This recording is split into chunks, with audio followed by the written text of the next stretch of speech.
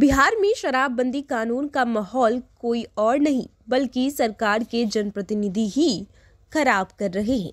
बक्सर ज़िले में ऐसा ही एक मामला सामने आया है, जहाँ उत्पाद विभाग की टीम ने नशे की हालत में चाँद पंचायत के मुखिया अजय कुमार गिरी को गिरफ़्तार किया है। बता दें कि पुलिस तस्कर को पकड़ने गई थी, जहाँ शराब के नशे में झूमते पंचायत के मुखिया मिल गए, जिन्हें हिरासत में ले लिया गया। बता दें कि मुखिया पद का पदभार संभालने के पहले सभी लोगों ने शराब नहीं पीने और शराबबंदी को सफल बनाने का शपथ लिया। मगर अब ये शपथ झूठी साबित हो रही है।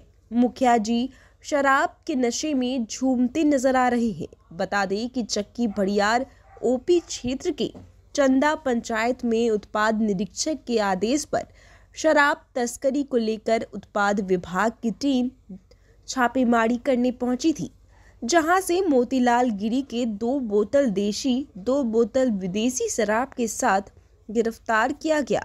बता दें कि मोतीलाल गिरी के बेटे विशाल गिरी को भी पुलिस ने पहले गिरफ़्तार किया है, जिसके आलोक में दोबारा छापेमारी कर पिता को भी गिरफ़्तार किया गया।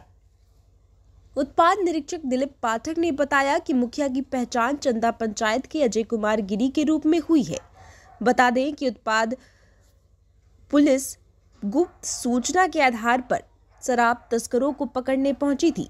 शराब तस्कर को तो गिरफ़्तार किया ही, लेकिन इस दौरान पंचायत के मुखिया को भी शराब के नशे में देखकर गिरफ़्तार कर लिया, जिनकी अब कल कोर्ट में पेशी होगी। ऐसे में ये सवाल उठता है कि जिन लोगों के ऊपर जिम्मेवारी हो, वो आखिर ऐसे में कैसे इस कानून का मज़ाक उड़ा सकते हैं? आपको बता दें कि पंचायत की जनता ने पहली बार अजय गिरी को मुखिया पद के लिए चुना था।